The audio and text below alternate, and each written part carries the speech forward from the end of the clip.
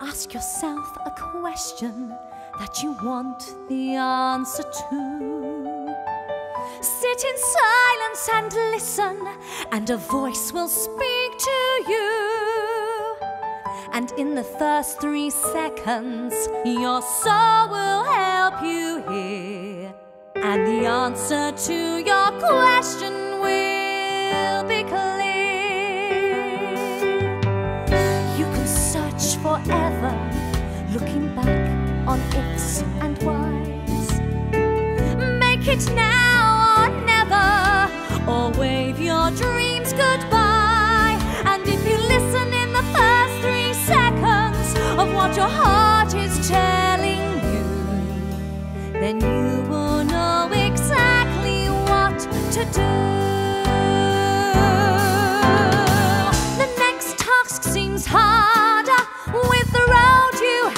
To pave. But have the courage of your own convictions. All it takes is to be brave.